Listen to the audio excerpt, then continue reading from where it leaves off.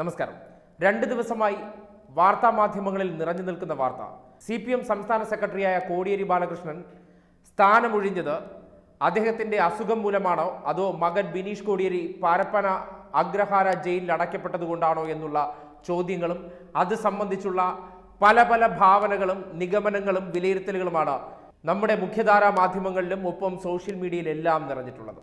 ഇതിനിടയിലെല്ലാം ഒരു പ്രധാനപ്പെട്ട കാര്യം പലരും മറന്നു പോകുന്നുണ്ട് ഒരു വ്യക്തിയെ വേട്ടയാടപ്പെടാവുന്നതിന്റെ ഏറ്റവും മുകളിൽ നിൽക്കുകയാണ് ഇപ്പോൾ. അതായത് എന്തിന്റെ പേരിലും ആയിക്കോട്ടെ മകൻ അറസ്റ്റിലായതിന്റെ പേരിലാണ് ഒരാൾ സ്ഥാനമൊഴിഞ്ഞതെന്ന് തന്നെ ഇരിക്കട്ടെ. ഇത്തരത്തിൽ പുതിയ പുതിയ രാഷ്ട്രീയ കഥകളും അതിന്റെ പേരിൽ ഒരാളെ ഇത്രത്തോളം മാനസികമായി തകർത്ത് അല്ലെങ്കിൽ മാധ്യമ വിചാരണ നടത്തി തകർത്ത് തരിപ്പണമാക്കണമെന്ന് ആരുടെ ആവശ്യമാണ്? ഈ സമൂഹത്തിന്റെ ആഗ്രഹമാണോ? അതോ ചിലരുടെ നമ്മുടെ സോഷ്യൽ മീഡിയയിൽ തന്നെ അറിയാം വിജയ് പി നായരെ പോലുള്ള ചില യൂട്യൂബർമാരോ അല്ലെങ്കിൽ അതേ മനോഭാവമുള്ള നിരവധി സോഷ്യൽ മീഡിയ പ്രവർത്തകരുണ്ട് നമ്മുടെ നാട്ടിൽ. മറ്റുള്ളവന്റെ വീഴ്ചകളും അതിനെ വിമർശിക്കുന്നത് കേട്ട് ആത്മരതി പൂണ്ടുന്ന ഒരു രീതി. ആ രീതിയെ കൂടുതൽ പ്രോത്സാഹിപ്പിക്കുകയാണ് നമ്മുടെ മാധ്യമങ്ങൾ. ഒരാൾ അയാളുടെ മകന് പറ്റിയ തെറ്റ് അത് ചെറുതെന്നോ അല്ലെങ്കിൽ അത് ശരിയാണെന്നോ അതിൽ രാഷ്ട്രീയ പ്രേരിതമുണ്ടോ ഒന്നും പറയുന്നില്ല. പക്ഷേ മകൻ ചെയ്തൊരു തെറ്റ്. നമ്മുടെ നാട്ടുമ്പുറങ്ങളിലൊക്കെ പണ്ട് പറയും അടയ്ക്കാകുമ്പോൾ മടിയിൽ വയ്ക്കാം. അത് കവുങ്ങാകുമ്പോൾ മാറ്റി നടണമെന്ന് ഓരോരുത്തരെ വീട്ടിൽ നോക്കിയാൽ മതി. മക്കൾ വളർന്ന് വലുതായതിനു ശേഷം രക്ഷിതാക്കൾ പറയുന്നത് അക്ഷരം പ്രതി കേൾക്കുന്നവരാണോ?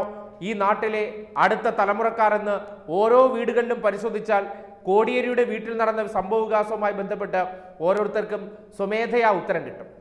അല്ലാതെ മറ്റൊരാളുടെ വീട്ടിൽ നടന്ന സംഭവമായി കണ്ടിട്ട് അതിലെ കുറെ കഥകളും അല്ലെങ്കിൽ കെട്ടുകഥകളും കേട്ട് ആത്മരതി കൊള്ളുന്ന ഒരു വലിയ സമൂഹമായി കേരളം അധപ്പതിക്കുകയാണ് അതിന് ടാം റൈറ്റിംഗിന്റെ പേരിൽ പ്രോത്സാഹനം കൊടുക്കുകയാണ് നമ്മുടെ സോഷ്യൽ മീഡിയ എന്തൊക്കെയായാലും കോടിയേരി ബാലകൃഷ്ണൻ എന്ന വ്യക്തി അയാൾ ഒരു അസുഖബാധിതനാണ്.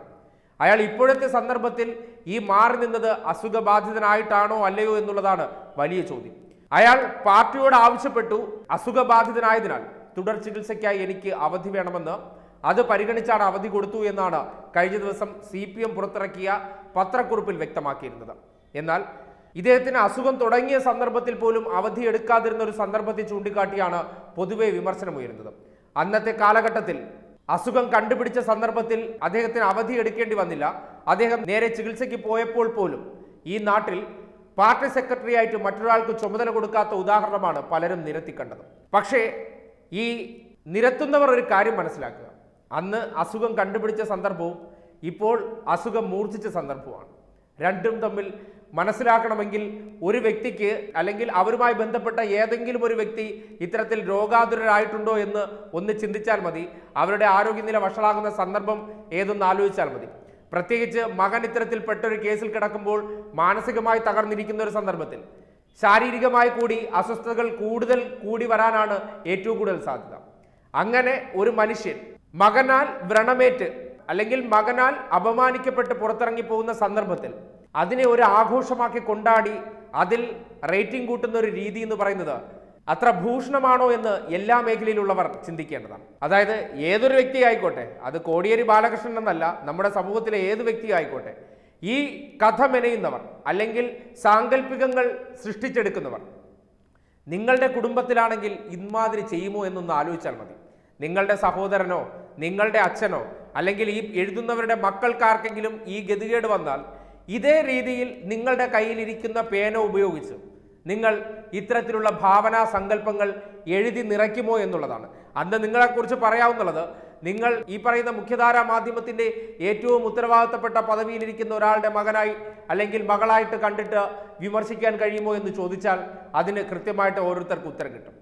ശരിയാണ് തെറ്റ് ചെയ്തിട്ടുണ്ടെങ്കിൽ ബിനീഷ് കോടിയേരി ശിക്ഷിക്കപ്പെടണം. അത് ഈ നാട്ടിലെ നിയമവ്യവസ്ഥ അനുശാസിക്കുന്ന രീതി അത് തന്നെയാണ്. പക്ഷേ അതിന്റെ പേരിൽ ഒരു രാഷ്ട്രീയ നേട്ടത്തിന് വേണ്ടി ഒരു വ്യക്തിയെ തേജോവധം ചെയ്യുക അല്ലെങ്കിൽ മാനസികമായി തകർക്കുക ശാരീരികമായി തകർക്കുക എന്ന രീതി അവലംബിക്കുന്നത് എത്രത്തോളം ഭൂഷണമാണ്. അതാണോ മാധ്യമധർമ്മം? അതാണോ കേരളത്തിന്റെ ഏറ്റവും ഉയർത്തിപ്പിടിക്കുന്ന സംസ്കാരം? ഇപ്പോൾ പറയുന്നത് കേട്ടു ശബരിമലയുമായി ബന്ധപ്പെട്ട വിഷയത്തെ ഉയർത്തിക്കാട്ടി ചിലർ വിമർശനം ഉന്നയിക്കുന്നുണ്ട്. അതായത് കഴിഞ്ഞ ചിത്തിര ആട്ട വിളക്ക് സമയത്ത് ശബരിമലയിൽ സ്ത്രീകളെ പ്രവേശിപ്പിക്കാൻ അനുവദിച്ചു. രണ്ട് വർഷങ്ങൾക്കിപ്പുറമുള്ള ചിത്തിരാട്ട വിശേഷ സമയത്ത് കോടിയേരിക്ക് പുറത്തേക്ക് പോകേണ്ടി വന്നു എന്നുള്ള ഒരു വിമർശനം ഒരു മുഖ്യധാര മാധ്യമത്തിലെ വ്യക്തി ചൂണ്ടിക്കാട്ടുന്നത് കണ്ടു. അത്തരം വിമർശനങ്ങളോട് ചോദിക്കാനുള്ള ഒരു കാര്യം ഈ വിശ്വാസികൾ പറയുന്നതുകൊണ്ട് പണ്ടെല്ലാം പിന്നെ പിന്നെ ഇപ്പോൾ എല്ലാം അപ്പോഴപ്പോഴെന്നാണ് പറയുന്നത്. അതായത് അയ്യപ്പനുണ്ടായ ആ ഭംഗത്തിന്റെ പ്രശ്നം തീർക്കാൻ രണ്ട് വർഷം വേണോ അയ്യപ്പന് എന്നുള്ള കാര്യമാണ്. അതായത് അയ്യപ്പന് ശക്തി കൂടുതലും കുറഞ്ഞു നിൽക്കുന്ന സന്ദർഭമുണ്ടോ? അല്ലെങ്കിൽ ഈ ഇ ഡി കേസ് നേരത്തെ വരും വരില്ല എന്നുള്ളതിനെക്കുറിച്ച് അയ്യപ്പൻ അറിഞ്ഞൂടായിരുന്നു എന്നുള്ള കാര്യമാണ്. എന്തായാലും ഇ ഡി അന്വേഷണമൊക്കെ അവിടെ നിൽക്കട്ടെ. നമ്മുടെ നാട്ടിൽ എല്ലാ സംസ്ഥാനങ്ങളും എടുത്ത് പരിശോധിച്ചാൽ തെരഞ്ഞെടുപ്പ് അടുത്ത് നിൽക്കുമ്പോൾ പല സ്റ്റേറ്റുകളിലും ഇത്തരത്തിൽ കേന്ദ്ര അന്വേഷണ ഏജൻസികൾ കയറി മേയുന്ന ഒരു സാഹചര്യം ഉണ്ടായിട്ടുണ്ട്. അത് കർണാടക ആയിക്കോട്ടെ മഹാരാഷ്ട്ര ആയിക്കോട്ടെ അല്ലെങ്കിൽ മധ്യപ്രദേശ് ആയിക്കോട്ടെ രാജസ്ഥാൻ ആയിക്കോട്ടെ എല്ലാ മേഖലകളിലും ഈ കേന്ദ്ര ഏജൻസികളുടെ ഒരു- ഇടപെടൽ നമ്മൾ കണ്ടിട്ടുള്ളതാണ്. അതുകൊണ്ട് സത്യങ്ങൾ പുറത്തു വരട്ടെ. ഈ പറയുന്ന ഇ ഡിയുടെ ട്രാക്ക് റെക്കോർഡ് പരിശോധിച്ചാൽ കഴിഞ്ഞ പതിനഞ്ച് വർഷങ്ങൾക്കിടെ ഇ ഡി രജിസ്റ്റർ ചെയ്ത കേസുകളിൽ വെറും പതിനഞ്ചെണ്ണം മാത്രമാണ് ഇതിനോടകം ശിക്ഷിക്കപ്പെട്ടിട്ടുള്ളത്. അതുകൊണ്ട് ഇ ഡി എന്നൊരു സംവിധാനം എടുക്കുന്ന കേസുകളും അല്ലെങ്കിൽ സി ബി ഐ എടുക്കുന്ന കേസുകളെല്ലാം ഈ രാജ്യത്ത് കൃത്യമായി ശിക്ഷിക്കപ്പെടുകയാണ്. അല്ലെങ്കിൽ ഇവരെടുക്കുന്ന തീരുമാനങ്ങൾ അതേപടി ശരിയാണെങ്കിൽ ഒരുപക്ഷെ അയോധ്യ കേസിൽ ഈ പറയുന്ന ബി ജെ പിയുടെ സമ്പൂർണ നേതാക്കന്മാരെല്ലാം പുറത്തു പോകുമായിരുന്നു. അവരെല്ലാം സമാനമായി സി ബി ഐ കൊടുത്ത റിപ്പോർട്ടിന്റെ അടിസ്ഥാനത്തിലാണ് പുറത്തു പോയിട്ടുള്ളത്. കുറ്റക്കാരൊന്നുമല്ല. ഈ തരത്തിൽ രാജ്യത്ത് വലിയൊരു കലാപം ഉണ്ടാക്കിയ ഒരു സംഭവമാണ്. നിയമവ്യവസ്ഥയെ അപ്പാടെ നോക്കി നിർത്തിക്കൊണ്ട് ഒരു പള്ളി തകർത്ത അവരെല്ലാം അതിന് ഗൂഢാലോചന നടത്തിയവരെല്ലാം സി റിപ്പോർട്ടിന്റെ അടിസ്ഥാനത്തിൽ ഇപ്പോൾ കുറ്റവിമുക്തരായി പുറത്തു പോയിട്ടുണ്ട് അതുകൊണ്ട് കേന്ദ്ര ഏജൻസികൾ ചെയ്യുന്നതെല്ലാം വലിയ മഹത്തരമായിട്ടുള്ള ഒരു കാര്യമാണെന്നൊക്കെ ഇവിടെ പ്രതിപക്ഷം പറയുന്നുണ്ട്. അതേ പ്രതിപക്ഷം തന്നെയാണ് കെ എം ഷാജിക്കെതിരെ ഉയർന്ന അന്വേഷണങ്ങളും ഇ ഡി ചോദ്യം ചെയ്യാൻ വിളിപ്പിക്കുന്നതിനെയും ഒപ്പം എം സി കമൃതിന്റെ വിഷയത്തിലും ഇബ്രാഹിം കുഞ്ഞ് എം എൽ എയുടെ വിഷയത്തിലൊക്കെ ഉണ്ടാകുമ്പോൾ അത് രാഷ്ട്രീയ പ്രേരിതമാണെന്നാണ് പറയുന്നത്. അതെന്താ? സർക്കാരിന് നേരെ ഈ അന്വേഷണങ്ങളെല്ലാം നടക്കുമ്പോൾ അത് ശരിയാണ്. സ്വന്തം പാർട്ടിക്കാർക്ക് നേരെ വരുമ്പോൾ അതെല്ലാം തെറ്റാണെന്ന് പറയുന്ന ഒരു ശൈലി എവിടത്തെ ന്യായമാണ്? അതൊക്കെ പറയുന്നത് ഈ വിഷയത്തിന്റെ ശരി തെറ്റുകൾ തെളിയിക്കപ്പെടട്ടെ. അതിനുശേഷമാണല്ലോ കുറ്റവിചാരണ ചെയ്യപ്പെടേണ്ടത്. ഒരാളെ സംശയാസ്പദമായി അറസ്റ്റ് ചെയ്യുന്നു എന്ന് പറയുന്നത് ഇന്ത്യൻ നിയമവ്യവസ്ഥയിൽ പോലും സസ്പെക്റ്റഡ് പേഴ്സൺ എന്നാണ് പറയുന്നത്. കുറ്റാരോപിതൻ മാത്രമാണ്. അയാൾ കുറ്റം ചെയ്തിട്ടുണ്ടോ ഇല്ലയോ എന്ന് കോടതിയാണ് തീരുമാനിക്കേണ്ടത്. ഒരാളെ കുറ്റാരോപിതനായി കഴിഞ്ഞാൽ അയാളെ കുറ്റവാളി എന്ന് മുദ്രകുത്താൻ ഇവിടുത്തെ ഒരു മാധ്യമങ്ങൾക്ക് പോലും അർഹതയില്ല എന്നുള്ള കാര്യം മനസ്സിലാക്കണം. ഇത് ഈ രാജ്യത്തെ എല്ലാ സിംഗിൾ പൗരനും ബാധ്യതപ്പെട്ട ഒരു കാര്യമാണ്. അതായത് ഒരു കേസിൽ അറസ്റ്റ് ചെയ്താൽ അറസ്റ്റ് ചെയ്യുന്നത് സംശയാസ്പദമായി അറസ്റ്റ് ചെയ്യുന്ന ഒരു കാര്യമാണ്. സംശയാസ്പദമായി അറസ്റ്റ് ചെയ്യുന്നു ചോദ്യം ചെയ്യുന്നു. ഇതിനുശേഷം ഒരു നിശ്ചിത കാലയളവിന് ശേഷം ഇവരെല്ലാം പുറത്തു വരും. അതിൽ യാതൊരു സംശയവുമില്ല. കാര്യം അതിനുശേഷം വിചാരണ ആരംഭിച്ച് കോടതി തീരുമാനിക്കണം. ഇവർ കൊടുക്കുന്ന വാക്കുകളല്ല. തെളിവുകളുടെ അടിസ്ഥാനത്തിലാണ് കോടതി തീരുമാനിക്കുന്നത്. തെറ്റ് ചെയ്തിട്ടുണ്ടോ ഇല്ലയോ എന്നുള്ള കാര്യം. അത് കോടതിക്ക് വിടേണ്ട വിഷയമാണ്.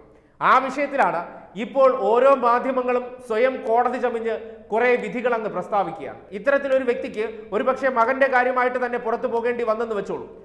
പക്ഷേ അയാൾ അസുഖബാധിതനാണ് തുടർ ചികിത്സ വേണമെന്നുള്ള കാര്യം അപ്രസക്തമാക്കി മാറ്റുന്നത് എന്തുകൊണ്ടാണ്? ഇപ്പോൾ അയാൾ ഒരു അർബുദ രോഗിയാണ് അതിന് തുടർ ചികിത്സയാണ് അസുഖം മൂർച്ഛിച്ചു എന്നുള്ള വിവരങ്ങൾ പല പത്രങ്ങളും റിപ്പോർട്ട് ചെയ്ത് കണ്ടില്ല. അല്ലെങ്കിൽ നിങ്ങൾ രണ്ടു വശവും പറഞ്ഞു പോകും. എന്തിനാണ് ഒരു പക്ഷം പിടിച്ച് ഇത്തരത്തിൽ രാഷ്ട്രീയ വേട്ടയാടൽ തുടരുന്നത്?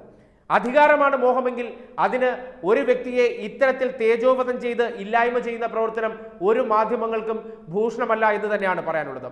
തെറ്റ് ചെയ്തവർ ശിക്ഷിക്കപ്പെടേണ്ടതുണ്ട് ഈ നാട്ടിൽ.